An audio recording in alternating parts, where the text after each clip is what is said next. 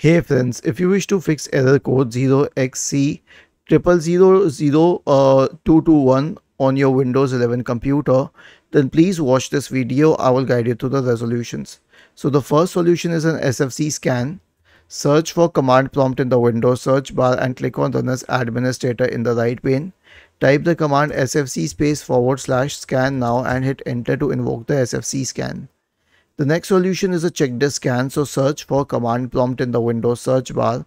Click on run as administrator. Type the command chkdsk space forward slash r space forward slash f and hit enter. Then press Y and hit enter once again. And the last solution is a system restore. So search for recovery in the Windows search bar and click on recovery. Click on open system restore. Click on next. Choose a good restore point. Click on next. Click on finish and then click on yes. Was this helpful? If yes, then please subscribe to the channel. If not, then let us know in the comment section of the video on how we could help you further. Thank you for watching this video and have a nice day.